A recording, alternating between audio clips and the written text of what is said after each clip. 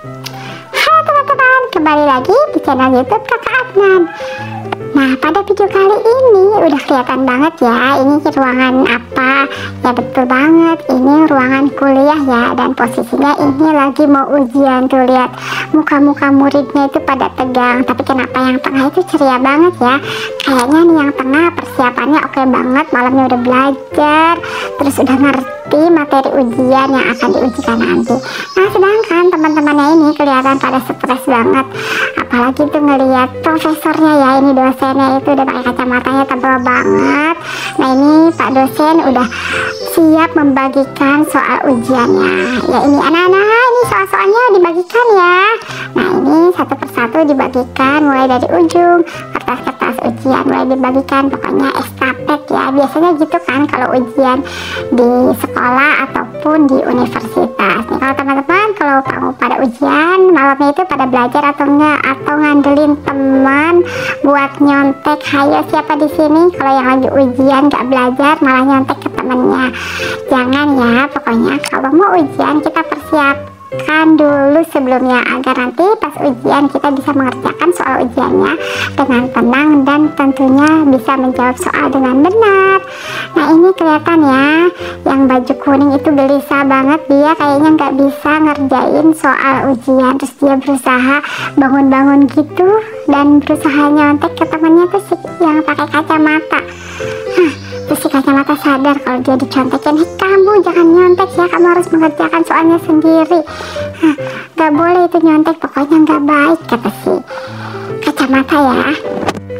Tapi tetap aja tuh si baju kuning tidak menyerah karena dia benar-benar gak bisa ngerjain soal ujiannya. Nah lo ketahuan kan sama pak dosen pak dosen mukanya udah merah gitu marah si baju kuning pun ketakutan.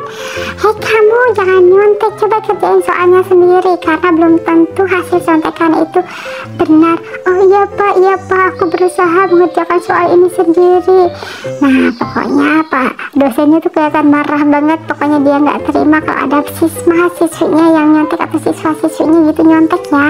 Pokoknya jangan ditiru ya teman-teman. Kalau ada siswa yang kayak gini yang suka nyontek ke temennya atau bawa contekan. Nah kira-kira itu yang sebelahnya itu yang baju putih kelihatan anteng banget ya.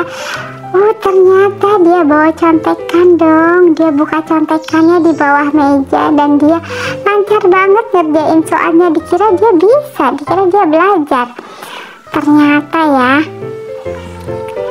Kira-kira dosennya tahu atau enggak. Hmm Dan si kacamata sih tetap anteng ya. Wah ternyata disamperin dong sama dosennya dan kaget banget pas ke belakang ada dosennya. Akhirnya tuh ketahuan kamu yang nyontek yang dia kaget tuh sampai mukanya bengong gitu shock terus diambil tuh kertas contekan hah rasain. Makanya teman-teman jangan berani-berani ya kalau lagi ujian bawa contekan di kelas. Eh, bisa apes pokoknya tuh lihat dosennya marah banget.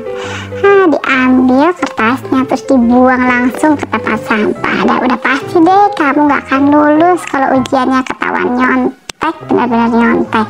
Apalagi bawa contekan ya bawa kertas gitu biasanya tuh kalau menyontek tuh contekannya kertas kecil gitu ya digulung-gulung. Dan ini sih tadi kertasnya besar banget. Aduh berani banget jangan ya.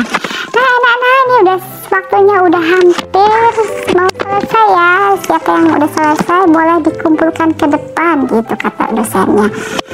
Dan si kuning masih tetap menyerah tidak menyerah dong. Dia bolak balik aja cari celah buat nyontek karena dia benar-benar gak bisa ngerjain soalnya. Kelihatan tuh dia mukanya senang tuh bisa dapet contekan berhasil nah si dosen pun tetap ngeliat ya. Dan kelihatan marah banget itu.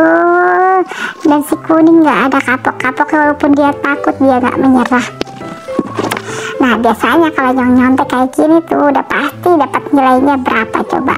Pasti dapat B.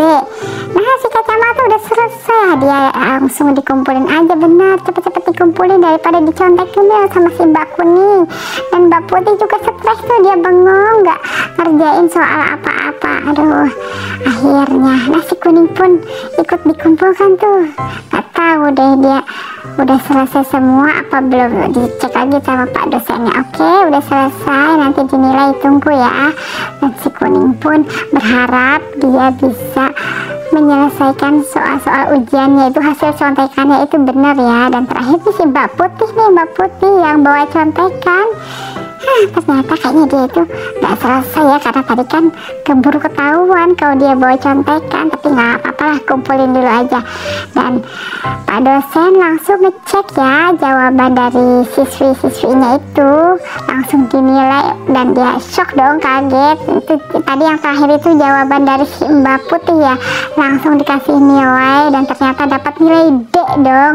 Udah pasti tapi kalau dapat nilai D itu harus ngulang pelajaran itu dan harus ujian lagi di semester berikutnya.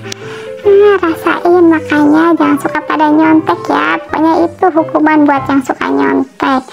Hmm, kelihatannya sih Mbak Oh ternyata ini lembar jawabannya si Mbak Kuning ya. Padahal tadi yang terakhir ngumpulkan Mbak Putih. Gak apa-apa.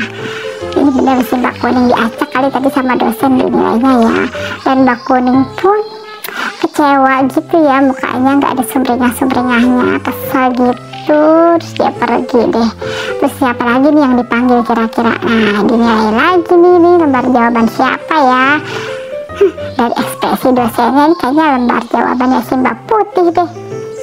Dan ternyata dia dapat nilai D juga dong. Ah Mbak Putih langsung murung deh.